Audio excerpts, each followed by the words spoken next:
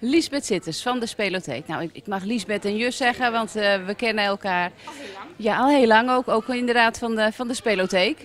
Ja, de Spelotheek in Baren. Hoe lang zit die er eigenlijk al? Wij bestaan al 30 jaar, sinds 15 april 1987. Zijn we al in de Hoofdstraat, in de jeugdbibliotheek, de trap af. En we zijn begonnen in het buurtcentrum, wat vroeger de Vonk heette, als voorbereiding. Daar zit nu de Rotary in en het Rode Kruis, één straatje daarachter. Maar de uitleen hebben we altijd in de bibliotheek gedaan. Een heel centraal punt. Later is er een personenlift gekomen. Dan kwamen de mensen met eh, kinderwagens ook naar beneden komen. Of met rolstoelen. En we zijn ontzettend uitgebreid qua eh, leden, qua speelgoed. Dus daar zijn we heel blij mee. En, en jij zit er vanaf het begin bij? Ja, en twee jaar voorbereiding. Dus in 85 zijn we begonnen. En toen waren mijn kinderen ook nog klein. eh. Wat, wat is er leuk aan de Spelotheek? Ik vind het uitlenen van speelgoed erg leuk. Eh, ook het contact met de mensen. Eerst was het voor mijn kinderen, tegenwoordig is het voor mijn kleinkinderen. En eh, mijn man zegt al de tijd, eh, je bent zelf nog in je tweede jeugd bezig. Je speelt zelf ook graag met speelgoed. en ook gezelschapsspel thuis. Vind ik altijd heel gezellig. Dus het houdt je ook jong. Houd me een beetje jong, ja. Ik zit liever gezelschapsspel te doen, wel een beetje televisie kijken. Maar niet zo lang achter een computer of een tablet of iPad of zo. Daar ben ik eigenlijk een beetje tegen. Ja, hoe, hoe gaat het precies in zijn werk? Ik, ik, ja, ik heb, nou ja, mijn kinderen zijn groot, maar als je kleine kinderen hebt en je denkt van, nou ja, de spelotheek, hoe gaat het in zijn werk? Nou, je komt binnen en je kijkt, wordt ontvangen, je kijkt rond. Eh, we hebben een kijktafel waar nieuw speelgoed op staat. En eh, je kan een abonnement nemen, dat kost 28,50 euro per jaar. Daar mag je vier stuk speelgoed van lenen. Eh, daarbij wel een puzzel of een gezelschapsspel, omdat we dat willen stimuleren. Dat mag je maximaal drie weken houden. Of als je met vakantie bent, zes weken. Of als het heel moeilijk is, mag je het nog langer, maar dat zetten we dan in de computer. En eh, we hebben puzzels en gezelschapsspellen, maar ook om te bouwen, constructiemateriaal. Ook voor de baby's, hele kleine kinderen. Eh, we hebben ook leerzame categorie kinderen die een achterstand hebben of moeilijkheden hebben op school. Die extra thuis met spelletjes willen rekenen of taal oefenen met de ouders of de fijne motoriek. We hebben veel eh, fietsjes. Als een kind moet leren fietsen heb je eerst een, een kleine driewielen. Daarna heb je een loopfiets of een fietsje met zijwieltjes of een step. Dat zijn grote staar in de weg. Een kind groeit er op een gegeven moment uit. En dan kan je dat zo even uitproberen waar ze aan toe zijn. En heel veel fantasie is de grootste categorie. Met Lego, met Playmobil, met grote keukens. Wat een staar in de weg in ieders huis is. Of een poppenhuis. En op een gegeven moment zijn ze daarmee uitgespeeld. Of na drie weken denkt vader of moeder, nou dat grote ding weer gauw weg. Ik ga iets anders uitzoeken. En de kinderen vinden dat heel leuk. Ja, je hoort wel eens, net, er keer de kleinkinderen komen bij opa en oma logeren. Ik kan me voorstellen dat ze dan niet het hele jaar eh, lid willen zijn. Kunnen ze dan toch iets, iets lenen bij jullie? We hebben nu eh, eh, stempelkaarten, dus een oranje kaart. Daar kan je tien keer kan je één stuk speelgoed of in één keer kan je vijf eh, stuk speelgoed lenen. Dat kost 7,50 euro.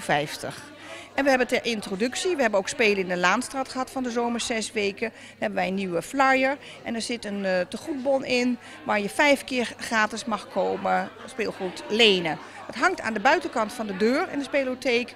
Een paar flyertjes, dat kan je zo eraf trekken als wij niet geopend zijn. Om vijf keer gratis een speeltje te komen lenen. En we zijn geopend op eh, woensdagmiddag van 2 tot half 4. Vrijdagavond van kwart voor 7 tot 8 uur, want dan gaat de bibliotheek ook dicht. En zaterdagochtend van 10 uur tot half 12. Je noemde net eventjes het spelen in de Laanstraat. Wanneer zijn jullie daarmee begonnen? Daar zijn wij ehm, eh, drie jaar geleden mee begonnen. En toen hebben we dat acht, jaar, acht weken hebben we dat gedaan. Vorig jaar wilden we zes weken. Maar helaas eh, door de vergunning die niet op tijd kwam. Er was een persmarkt, er was een rotary met allemaal tenten. Is het uiteindelijk maar, en slecht weer een keertje, is het uiteindelijk maar vier keer geworden. Maar we willen elke jaar, eh, elke zomermaanden in juni juli, voordat de vakantie eigenlijk begint, willen we spelen in de Laanstraat doen, vlakbij het gemeentehuis. Om de spelotheek meer in het zonnetje te zetten, meer bekendheid te geven. Ja, nu zijn we vandaag eh, bij de speelgoed en, ja, speelgoed en kledingbeurs. Dat organiseren jullie ook al heel erg lang. Ook al 30 jaar. Daar zijn we meteen al mee begonnen, omdat we toch een paar eh, extra centjes wilden hebben. In het begin kregen we nog wat subsidie van de gemeente Baren. Helaas is dat met keuzes maken helemaal eh, afgeschaft, dus we moeten onszelf bedruipen. En als je kijkt naar het lidmaatschap en de leden die wij hebben en het speelgoed wat wij moeten vernieuwen en willen vernieuwen, heb je heel wat centjes nodig. En daar gebruiken wij eh, de speelgoedbeurs voor om de tafels te verhuren, om zelf ook leuk speelgoed misschien iets goedkoper te kunnen aanschaffen en kopen wat voor ons erg slijt. Of vervangende onderdelen. Soms raakt er een poppetje kwijt of een autootje. Als je dan tweedehands een nieuwe onderdelen erbij kan kopen, is ons originele spel weer compleet.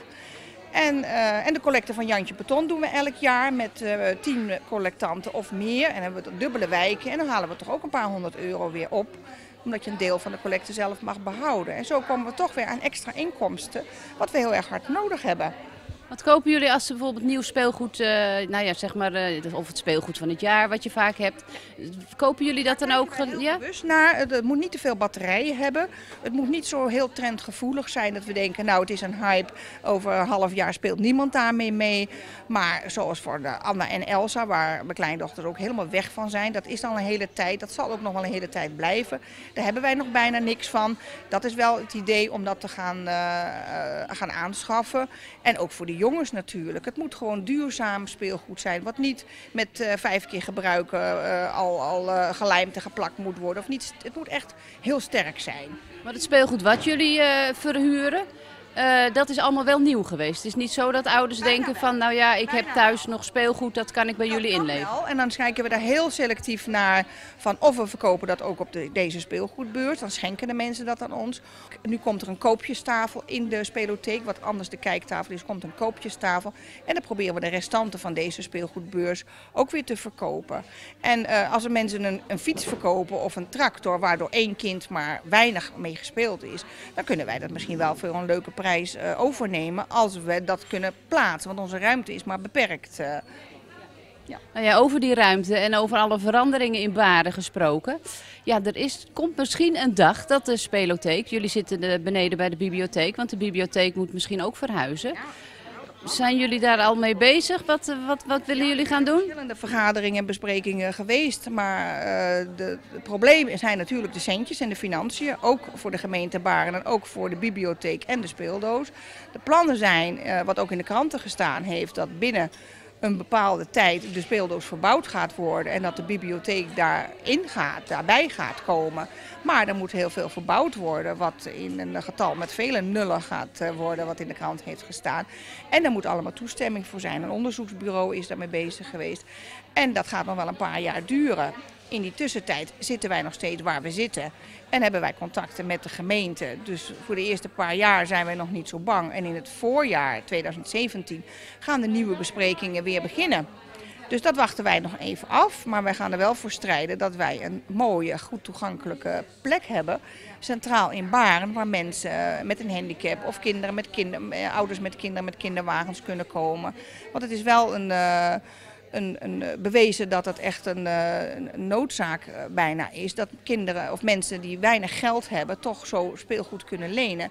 En heel veel mensen weten nog niet dat bij de gemeente kan je niet alleen financiële vergoeding krijgen voor een sportclub waar een kind lid van wordt. Maar dat kan ook de spelotheek zijn. Dat kan je de 28,50 vergoed krijgen van de gemeente Baren. Als een kind van 0 tot 4 is nog niet op een sportclub. En als jij minder draagkrachtig bent of een uitkering hebt of heel weinig inkomen hebt en je gaat naar dat zorgloket van de gemeente Baren, kan je dat ook gefinancierd krijgen. En dat weten heel veel mensen helaas nog niet. Uh, dat is toch een mogelijkheid.